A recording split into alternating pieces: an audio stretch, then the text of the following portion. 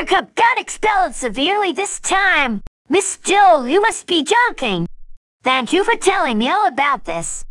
Don't worry, we will scold her for all of this, Gundy. Let me guess. Buttercup with an awesome voice got expelled severely. Yes, she actually did. Let's scold her for all of this right now. Buttercup! You get You your get your goddamn goddamn ass over here right now.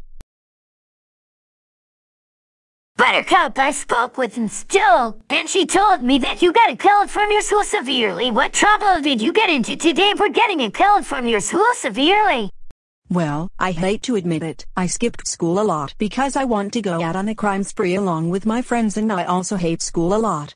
Buttercup, that was no kissing you said to us. And for going out on a stupid crime spree along with your friends to cause some victims to be traumatized for life. You are grounded until when pegs flag.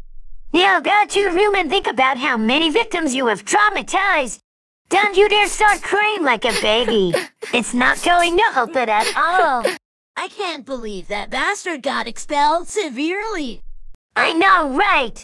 We have to find her from school first so that she does not cause any more trouble.